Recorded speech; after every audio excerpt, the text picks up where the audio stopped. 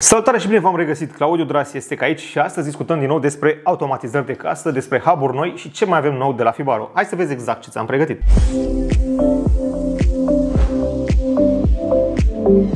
Bine revenit! Cum ți-am spus mai devreme, discutăm despre hub cele mai noi de la Fibaro. Pentru că acum câteva minute am primit un mail prin care mi se spunea că, wow, se va lansa pe data de 18 noul hub și un hub foarte ieftin de la Fibaro, adică Fibaro Home Center 3, versiunea Lite. Ce îl face diferit față de Fibaro Home Center 3 sau de Fibaro Home Center 2? Pentru că în fața mea le aveți pe amândouă. Avem Home Center 3 și Home Center 2.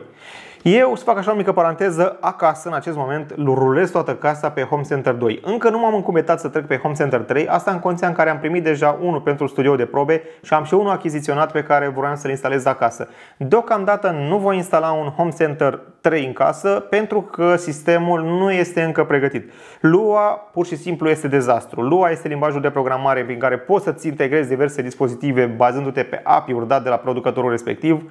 Pentru că am pierdut aproape 2 ani de zile să învăț Lua și să creez sisteme, să creez scene, să creez integrarea device-urilor în acest dispozitiv, bazându-mă pe Lua pe care îl pot scrie aici. În Home Center 3 lucrurile s-au schimbat radical. Fibaro pur și simplu a decis că tot ce am învățat până acum să se șteargă și să mergem în continuare cu un nou sistem Lua pe care ei l-au dezvoltat în prezent.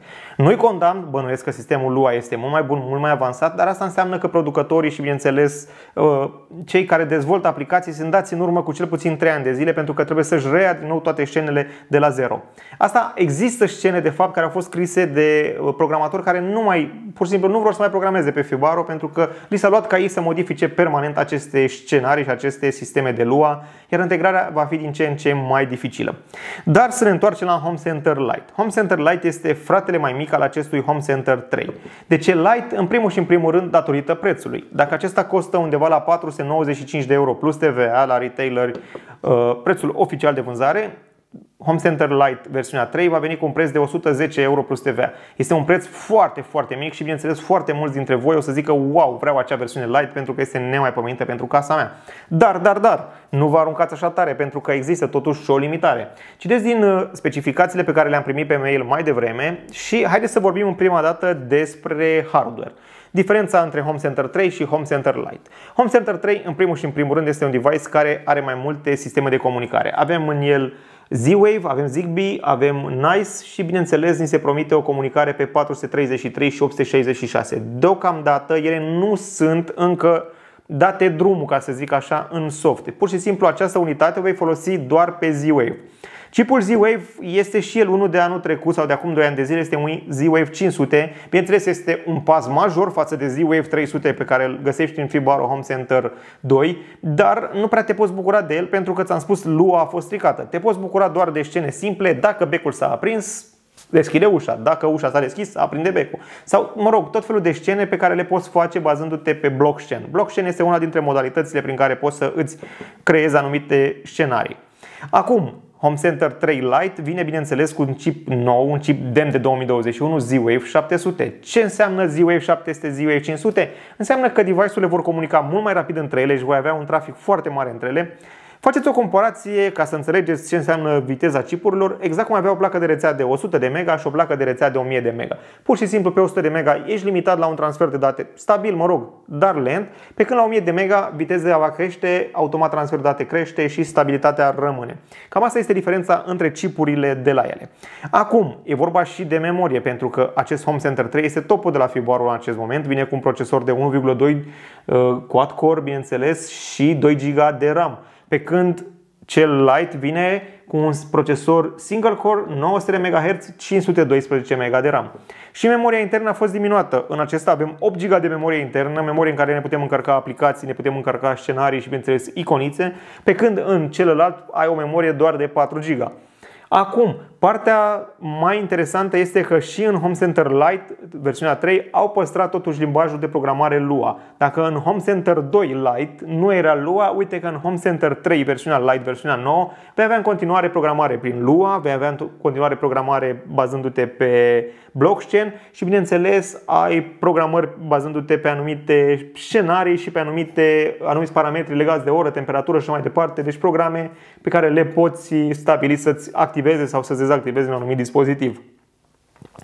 Acum, diferență majoră, citesc în manual încă o dată, maxim număr de scene. Dacă în acesta clar poți să scrii câte scene vrei tu, bine, până se blochează procesorul, în celălalt, în Lite, vei fi bazat doar pe 20 de scene. Deci maxim 20 de scene vei putea scrie, fie ele că sunt Lua, fie că sunt blockchain, deci poți să faci maxim 20 de operațiuni de, mă rog, dacă ușa s-a descuiat, aprindem becul. Dacă este seara, aprinde lumina în curte. Dacă sună cineva la poartă, cântă muzică și așa mai departe. Deci, deci ai 20 de scene pe care le poți scrie. Nu contează că sunt lua, că sunt bloc, în total 20 și te-ai oprit.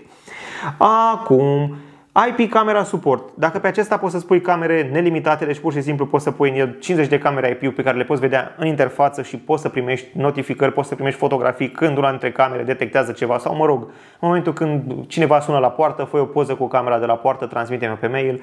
În Light vei fi limitat doar la o cameră IP-ul.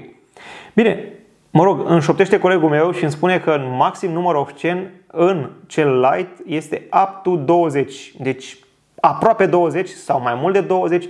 Deci oricum se limitează în limita 20. Asta am făcut o paranteză ca să înțelegeți că încă nu sunt concrete sau mă rog, nu e concret în specificații.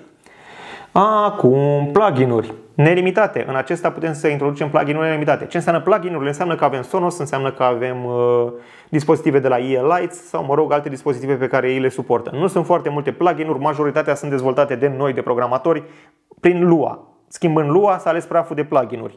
Deci, acel Lite va suporta doar 5 plugin-uri în momentul de față. Deci vei putea pune doar 5 dispozitive pe el. Așa, hai să mai vedem migrare și mecanism. Deci nu putem să migrăm. Deci dacă am, ne-am pus pe avem un Home Center 2, nu putem să scriem softul în Home Center Lite. Deci nu, va trebui să respacem de la zero modulele, să le reinstalăm, să le reintroducem în sistem. Nu e o moarte de om, le faci în 10-20 de minute, mă rog, o zi dacă ai o casă mare și oricum recomandarea mea este de momentul când treci de la un sistem vechi la unul nou, treci pe curat. E ca cu Windows-ul. Nu reinstala peste el pentru că se vor porta atât programele cât și, bineînțeles, erorile și anumite bug-uri. Prețul 109,9 euro, v-am zis fără TVA, dar acum ne întoarcem la darul cel mare. Problema este că această unitate poate să lucreze ca unitate master, adică ea poate să controleze alte 10 dispozitive slave. Ce înseamnă asta și la ce le folosești? Vă dau un exemplu. Avem o casă în care avem parter, sau mă rog, creierul este acesta și bineînțeles la etaj avem un alt dispozitiv care gestionează strict etajul.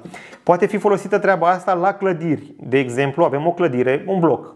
Da? Avem un bloc unde avem 20 de apartamente. Putem, bineînțeles, ca administrator de sistem să gestionăm iluminatul la toate apartamentele cu un singur master și, bineînțeles, fiecare apartament să aibă câte un slave integrat. Adică acesta va controla întreg sistemul. Asta e foarte bine pentru instalator pentru că vor pune câte un slave la fiecare apartament și în felul ăsta vor gestiona anumite dispozitive pe apartamentul respectiv. Slave-ul este slave, adică nu va face funcțiile principale. Nu știu foarte multe, nu știu exact cum se va uh, cum va lucra și cum se va integra cu Home Center 3? Sunt tare curios, am făcut deja comandă de el, abia aștept să-l primesc și bineînțeles o să fac un unboxing și o să discut cu voi mai multe lucruri legate de el.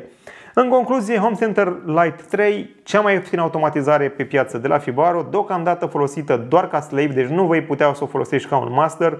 Rămâne să vedem treaba asta în momentul când va ajunge și vedem exact cum se va comporta cu câteva echipamente pe care le vom pune noi în studio de test.